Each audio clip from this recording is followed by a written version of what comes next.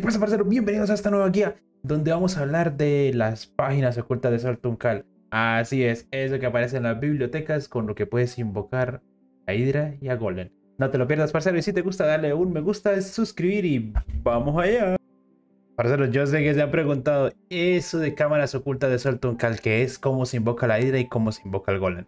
Bueno, básicamente cuando estás en la dificultad de Infierno 1 y vas a la biblioteca de Sortunkal, se activa una misión que está todo el tiempo que se llama Cámaras Ocultas de Sortunkal y te pide buscar 5 páginas perdidas en la biblioteca.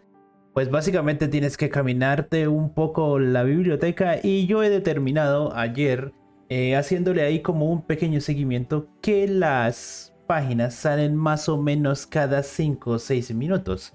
Estas páginas se encuentran botadas en el suelo, así es, en el suelo y tienen un color doradito. Por lo tanto, las vas a poder distinguir muy fácil.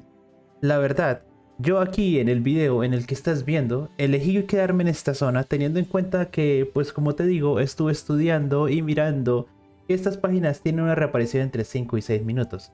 Recuerda que para completar un tomo necesitas 5 páginas, es decir que te gastarías alrededor de 25 a 30 minutos si otro jugador no te lo roba, porque es que si otro jugador lo encuentra primero que tú, lo pierdes. Como podrás ver, ahí están las páginas perdidas que las encontré en este sector y te muestro también el mapa donde estuve recorriendo durante estos veintitantos de minutos teniendo en cuenta y con cuidado de que otro jugador no me las fuera a quitar porque era un poco nervioso de que me las fueran a quitar básicamente porque me da vainita. Entras a la interfaz de cámaras ocultas de Cal o de Certain Cal que pues te salen las misiones y solo tienes que darle a la lupita. No lo busques en el inventario with del pasado por favor, por favor. A la lupita, a la lupita. Le das clic ahí y ahí dice usar. Te abrirá un libro con un portal y vas a entrar allá. En este libro podrás entrar en solitario o en grupo, pero en este caso lo hice en solitario porque es el ejemplo para que tú lo veas como es. En este caso me salieron una serie de bichos para intentar abrir ese cofre. Por ese cofre pues nos va a dar loot, nos va a dar oro y nos va a dar cositas.